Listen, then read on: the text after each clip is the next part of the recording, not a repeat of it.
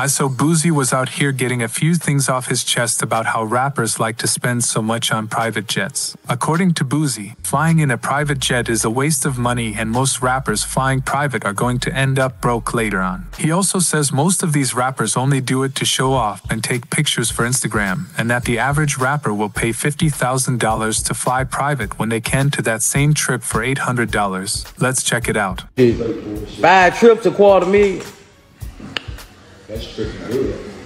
And you tricking to a jet. And all for it just for you to take a picture in front of that for Instagram. Oh, Only way you get that to take a picture on Instagram. Instagram the everybody up, man. My team gonna hate me. I'm driving everywhere. One Instagram picture, fifty thousand. One Instagram picture, 50,000. Thousand likes.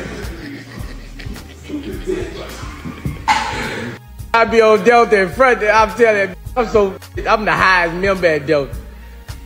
Just think, from Miami to California, that's probably 800 first class. You one of them platinum belts around. I'm platinum Delta. From just like the. I'm gonna show you the difference, Shane. First class Delta from Atlanta to Miami, mean from San Diego to Miami, probably at the most eight nine hundred. Fifty thousand on the jet.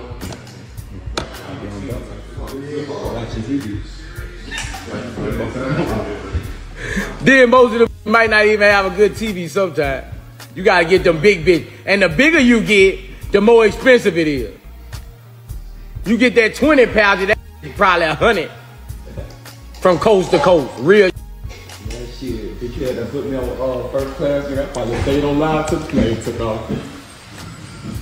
I ain't talking, I'm talking some real shit, man. Get high.